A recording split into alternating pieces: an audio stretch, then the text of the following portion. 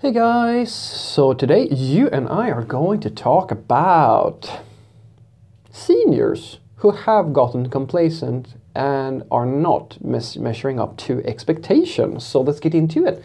So the question in question was pretty much that. It was, well, Fredrik, what about seniors who have gotten to the stage where they are so complacent or have become so complacent that they just don't measure up anymore? They're they're not up to up to this current skill levels that are required in today's uh, today's uh, IT community. What should they do? Do they change career, etc., etc.? And the short answer is that the most common thing that I see is that they go into middle management or possibly recruitment as well. I've seen that as sometimes as well and some of them do edu educate, but that's not, it's, it is common but not as common. Let me explain. So we have to define a few things before it makes any sense, the thing that I'm going to try to say here.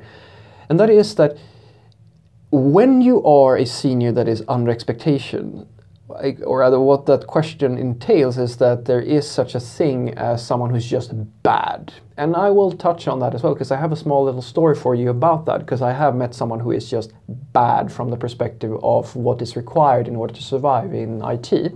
But usually there's a range to when you're not filling expectations. So basically what that means is that there are many many viewpoints on what you might be lacking in. Now, the most common thing you see in a senior developer where they're at least lacking is that they're either lacking in the technical area or they're lacking in the social area. Left, right, I think it's right brain uh, and left brain type of thing. Like you're usually lacking in one of them. It's very rare that you lack in both. But that's what happens in general terms when you don't nurture your career in a healthy manner. And that is, I have so many videos on how to do that so we can kind of leave that discussion. But let's just say for this, for this discussion that it is very important that you expose yourself to situations where you're nurturing your different assets because it is very much like being healthy, going to the gym, working out, taking care of yourself. This is taking care of your career. So, if you are lacking in technical skills. It's usually very common to see, and this is actually, I would say, now this is completely taking out of the thin air, but based on my personal experiences. But it's I see that it's very common that seniors who lack technical skills are usually going in, are already on the manager path. They're not really die-hard programmers. They're programmers who have been doing this for a while but they want to move up in the world. They're not married to the technical aspects of coding. Even today, I work with um, people who, I mean, at a very young age, have left coding behind, and most of what they do is management at this point.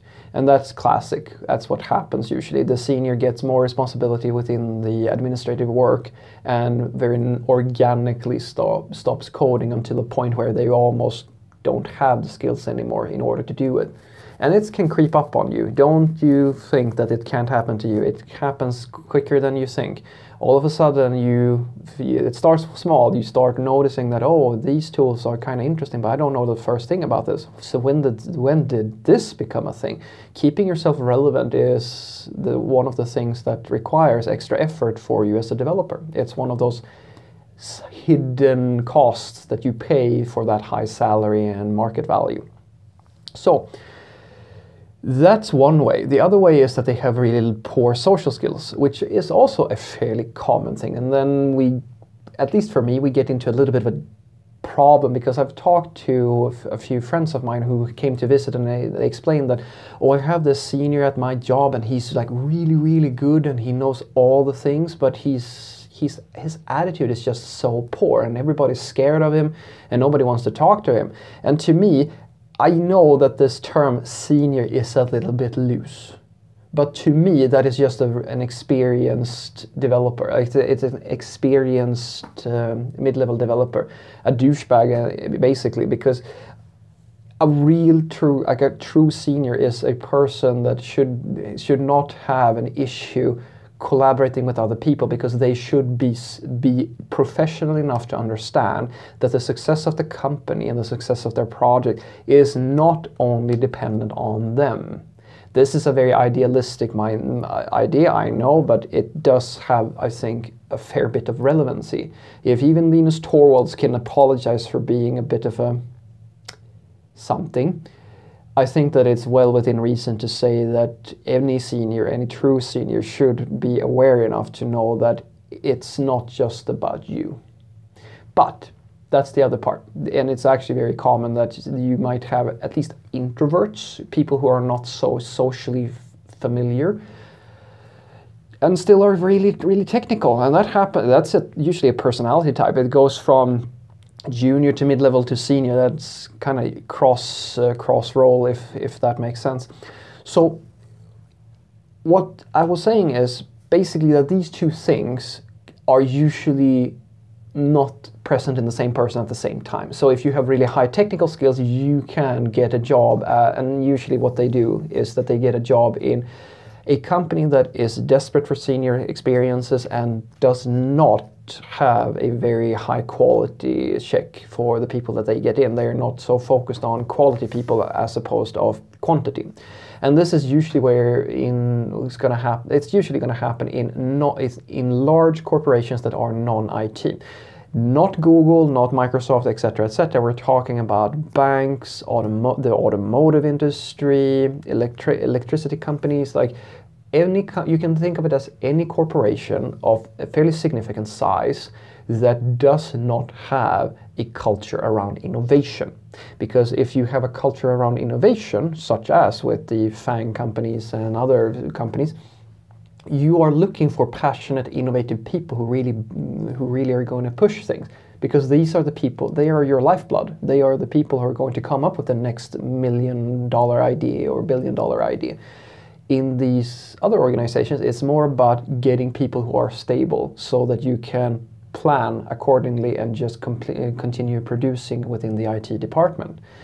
And both the socially weak senior and the technical uh, weak senior can, on average, be found in these sorts of organizations because they absorb these people based mostly on the years that the, this person already has on their CV. Where this is where I call it basically what they're doing is that they're hiring quantity over quality.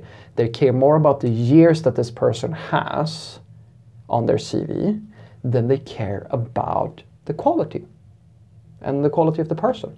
That's usually how it goes. I have met one of these people uh, that I've spoken about. One who was weak in both areas, and if you're in that area, then yes, you're probably not you're not going to survive as a software engineer.